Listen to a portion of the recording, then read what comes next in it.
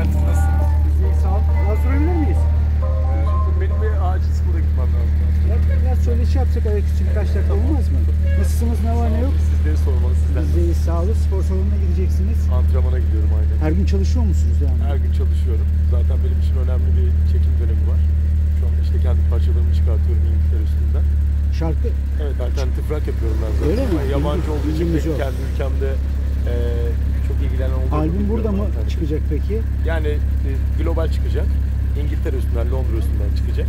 Dünyaya açılma niyetiniz var galiba. Önceden açıldık ama çok uzaktan açılamadık.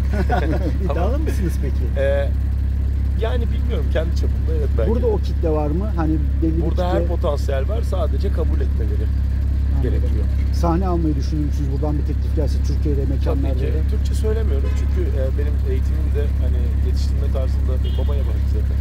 Yani pek bilmezler. İnsanlar mesela e, kişiler hakkında çok fazla derinlemesine bilgi sahibi değiller. Gördükleri kadarını e, bildikleri için e, o yüzden çok da fikir sahibi olamıyorlar. Böyle konuşmak gerekiyor belki de insanların Belki de. kendini tanıtabilmek için. Doğru, doğru. Şey de soralım, spor yapıyorum dediniz.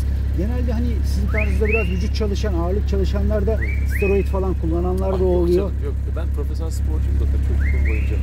Çok fazla spor Hani böyle hiç ilaçla falan Yok hiç işiniz olmadı değil mi? Olmadı ya. Biz hani güzel, iyi, kaliteli antrenman yapan, iyi beslenen tipleriz ya. tamamıyla organik diyorsunuz kaslar. Benim gitmem lazım. Çok özür Tamam, dileyerek size. estağfurullah. Şöyle Sizin de vaktinizi ayırın. Tabii tabii, estağfurullah. Sağ olun. Adaya gidiyorsunuz bu sefer.